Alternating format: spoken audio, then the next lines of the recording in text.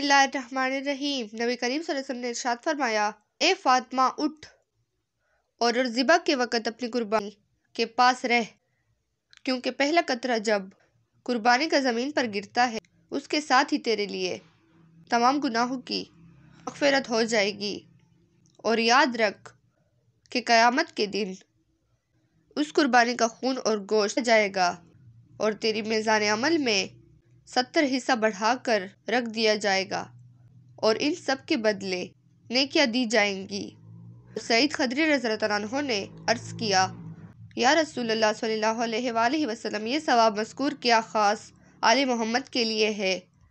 क्योंकि वो इसके लायक भी है और कि किसी चीज़ के हासिल किए जाए। या आल मोहम्मद सब मुसलमानों के लिए आम तौर पर है। आप ने फरमाया कि आल मोहम्मद के लिए एक तरह से ख़ास भी है? मुसलमानों के लिए आमतौर पर भी है